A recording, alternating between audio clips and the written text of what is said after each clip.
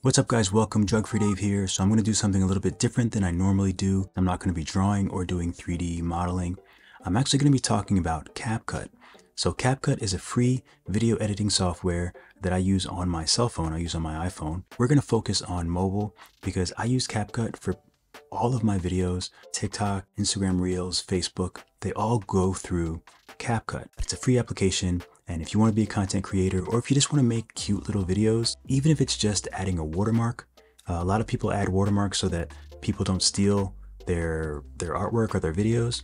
Uh, I don't usually think about it that way. I use my logo or a watermark just so that if the video goes viral or if someone reposts it somewhere, it should always be able to be traced back to you.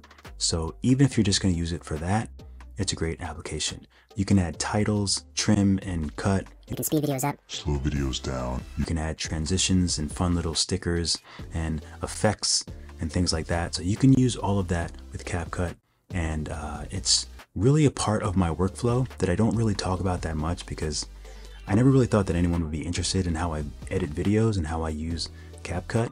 But if you want to be a content creator, your videos have to be pretty much perfect, which isn't possible, but you have to make them as perfect as you can uh, in a timely fashion. So that's why I think it's important to just show you uh, what I use in every aspect of my content creation so that you can use it as well and grow and get better at what you do.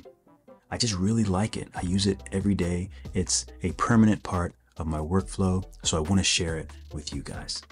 All right, so let's move on to the next video, class project.